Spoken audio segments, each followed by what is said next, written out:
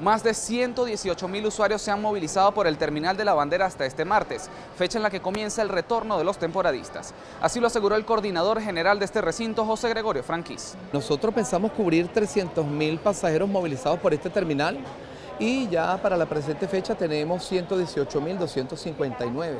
Este, apenas estamos el día martes, de aquí al día domingo, la movilización total, la movilización general debe estar bastante cercana a ese número y eso quiere decir que ha sido bastante efectivo nuestro operativo. Nosotros no hemos tenido merma en cuanto al año pasado, más bien notamos que se mantiene, se mantiene hasta la presente fecha esa movilidad, tal cual como los años anteriores. Tuvimos la oportunidad de conversar con los usuarios de este terminal de pasajeros acerca del costo y la calidad del servicio y esto fue lo que nos dijeron.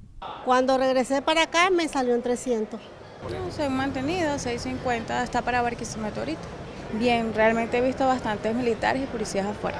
El equipo de Telecaribe se movilizó además por distintos terminales privados de la ciudad los cuales se mostraban menos congestionados con respecto a otras temporadas. Bueno, está bastante calmada. Para hacer este, los días de carnaval lo veo bastante relajado.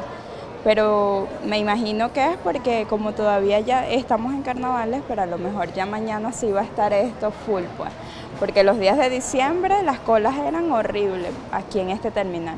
700 bolívares. No, voy de regreso a la isla, vivo allá. Eh, bueno, bastante accesible, boleto económico, bueno, siempre viajo por acá por, la seguridad.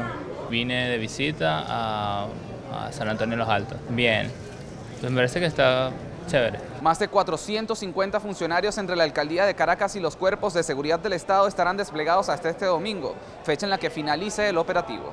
Desde Caracas, Víctor de Abreu, Noti Minuto.